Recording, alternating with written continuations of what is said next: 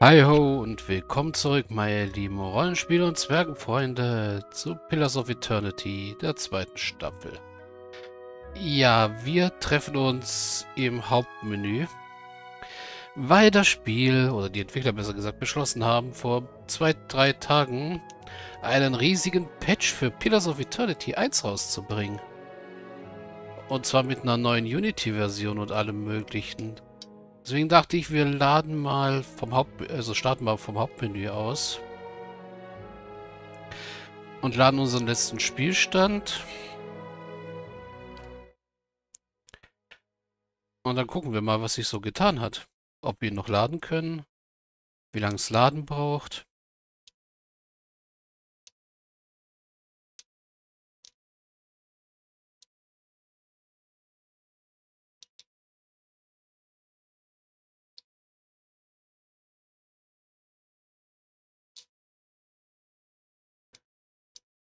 Also das Laden dauert ein bisschen. Kann auch sein, dass das jetzt das initiale Laden ist. Bis das Spiel richtig warm geworden ist, sagen wir einfach mal. Ich hoffe einfach, dass es lädt und nicht abschmiert. Okay, es hat geladen. Und wir sind immer noch in der Eisenflegelfestung.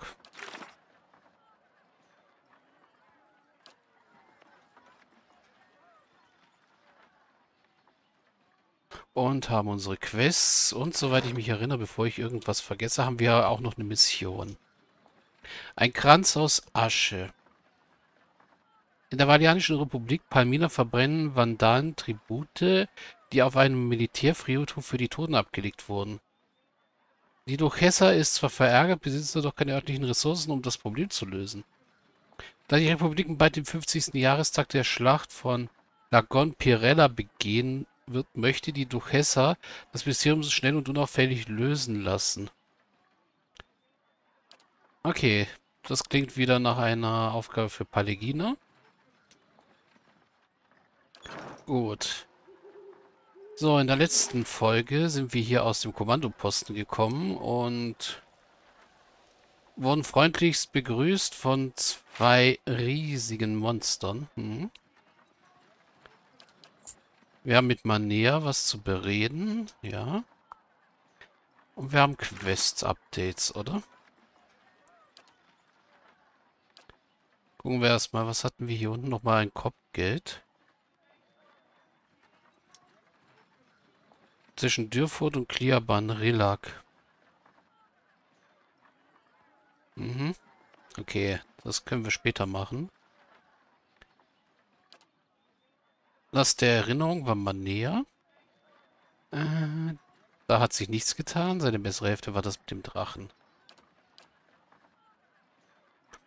So, Eisenfliegel haben wir abgeschlossen.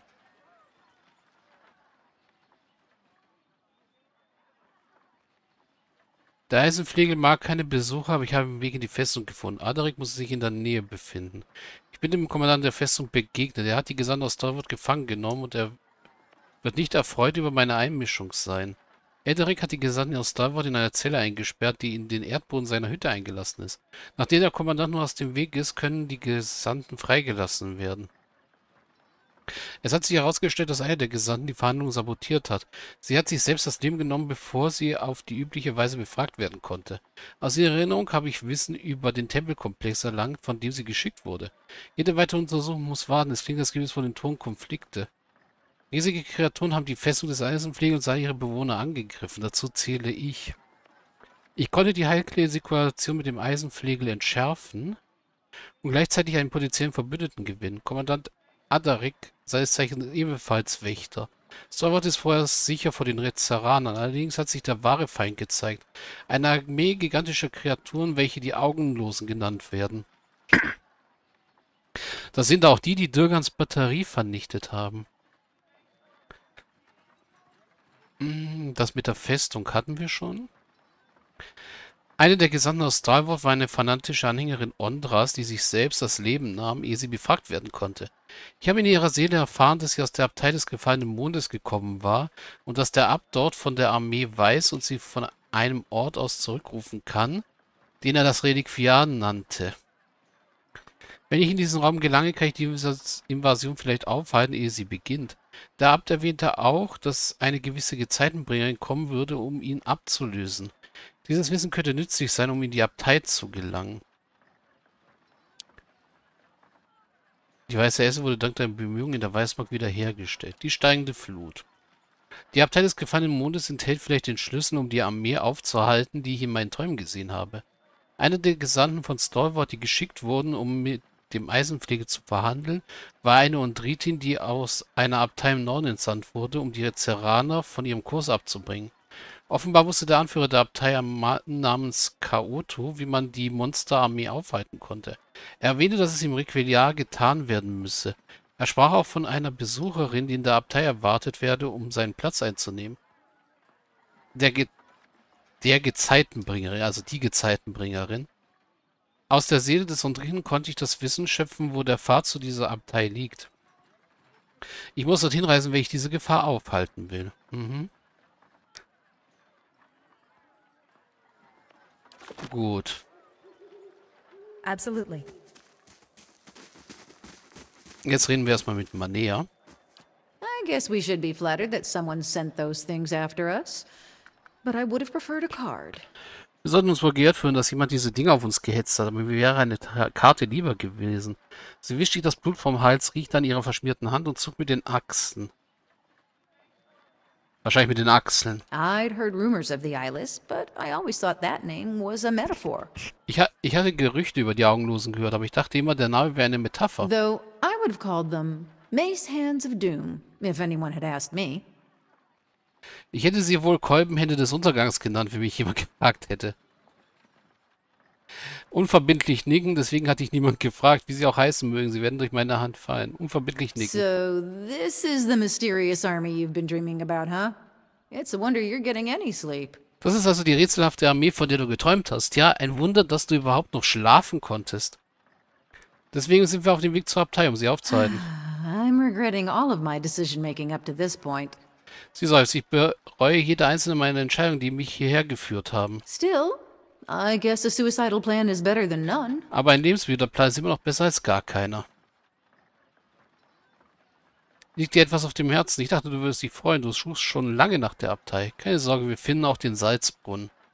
Liegt dir etwas auf dem Herzen? Well, knowing that I'm finally close to getting rid of this memory, it, it feels like it's crowding my head that much more. Zu wissen, dass ich endlich kurz davor stehe, diese Erinnerung loszuwerden, lässt sie in meinem Kopf nur noch größer werden. Sie geht auf und ab und dreht sich eine Haarsträhne um den Finger. It's been with me for decades. Driven me halfway across the known world. Ich trage sie seit Jahrzehnten mit mir herum. Ich bin um die halbe bekannte Welt vor ihr davongelaufen. Sie wirft die Hände in die Luft. Und? Das klingt nach einer ungesunden Beziehung. Vielleicht musst du es loswerden. Es wäre leichter, wenn du es mir einfach sagst, an was du dich erinnerst. Äh und? Sie bleibt stehen und seufzt. Es ist Zeit, dir zu erzählen, was ich getan habe. Nun gut, lass dir Zeit zuhören. Lass dir It Zeit. was a war. Centuries ago, before Adiran unification. Es war ein Krieg vor Jahrhunderten, vor der edirischen Vereinigung. Sie verschränkt die Arme vor dir. I was a soldier then. Led a campaign across the northern forests to subdue some of the outlying Kulklan villages. Brutal work. Ich war damals Soldatin. Ich habe in den nördlichen Wäldern einen Feldzug angeführt, um einige der abgeschiedenen Kulkin-Dörfer zu unterwerfen. Brutale Arbeit.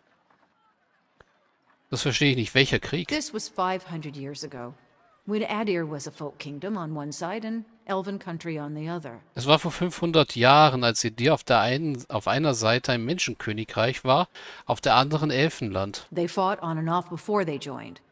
Now the folk and elven rulers marry to keep the peace. Sie bekämpfen einander immer wieder, ehe sie sich vereinten. Jetzt heiraten die Herrscher der Menschen und der Elfen sich untereinander, um den Frieden zu wahren. Und weiter? Right. The campaign. Richtig, der Feldzug. Lost a third of my forces to the forest, and another third to the elven scouts hiding in it. By the time we reached the first village, we'd crushed their defenses, and they'd bled us.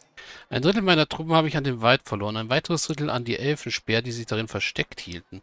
Als wir das erste Dorf erreichten, hatten wir ihre Verteidigung zerschlagen und sie hatten uns fast ausbluten lassen. Sie schüttelt den Kopf. Wasn't much more than children and the elderly left. But they spit on us when we marched into town. Es waren fast nur noch Kinder und Alte übrig, aber sie bespuckten uns, als wir in das Dorf einmarschierten. Sie verzieht zornig das Gesicht, ihr Blick ist The kalt. village elders surrendered and offered us lodging in the old meeting hall. And when the sun set, they tried to burn it down around us. Die Dorfältesten ergaben sich und boten uns den alten Versammlungssaal als Schlafsaal an. Als die Sonne unterging, versuchten sie, ihn um uns herum niederzubrennen. Sie schließt die Augen. They barely got a flame going, but that wasn't the point. Sie konnten nicht einmal ein ordentliches Feuer entfachen, aber darum ging es nicht.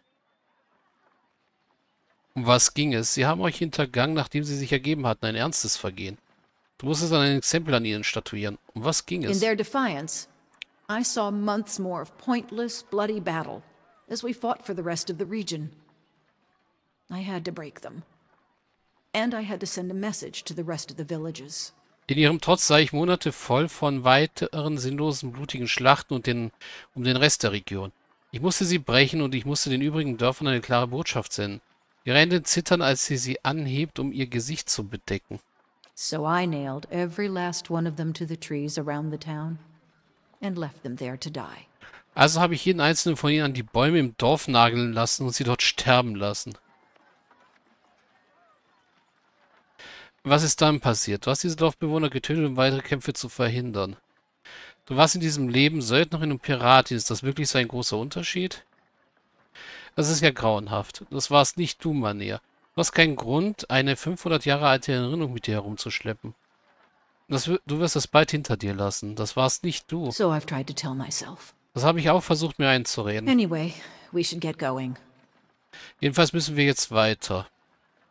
Sie schultert den Gepäck und erhascht einen kurzen Blick auf etwas Seltsames darin. Ein dickes Stoffbündel, das in Leder eingewickelt ist. Was ist das? Something I've been saving for better days. Etwas, was ich mir für bessere Tage aufgehoben habe. Sie steckt es weg. Lass uns gehen. Tell me! Okay. I'm here. So, jetzt ist mein Plan, erstmal das Außen, Certainly. den Außenparameter, die Außenperimeter der Festung mir mal anzusehen. Weil jetzt können wir ja auch alles mitnehmen, was es hier so gibt. How about that? Gebetsarmband, Ring der Überwachung.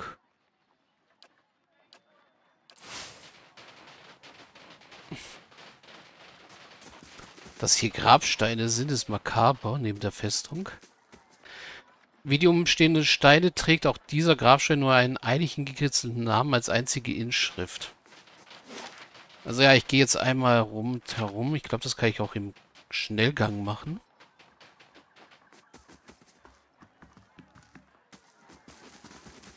Also wie es aussieht, haben die Rezeraner die Festung, wenn man es so nennen will. Ich würde es eher als kleines Vor bezeichnen. Oh, junger Schneebär und eine Menpefgra.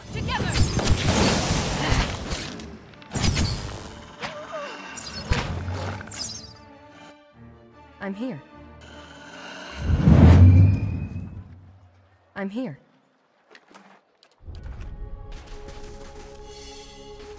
Die Zerstörung im umliegenden Wald erschreckt, erstreckt sich fast bis zum Horizont. Oh, Durgan-Eisenbahn und eine zerfetzte Notiz. Ich muss die Festung verstecken. Hier wimmelt es von Soldaten. Sag Ovina, dass ich es wieder gut mache.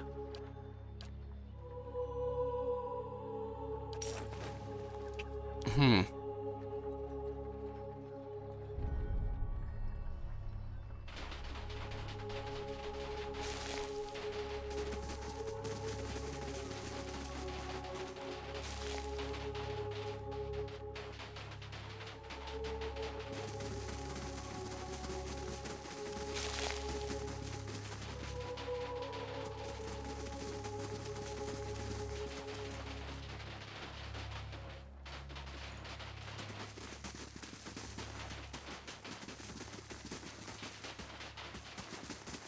Also ja, der Haupteingang ist auch zerborsten.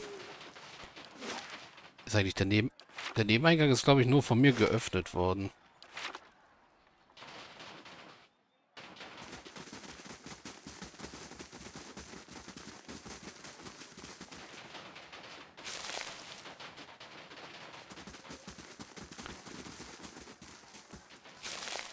Bin wenigstens froh, dass ich mich nicht durchs ganze, durch die ganze Festung kämpfen musste.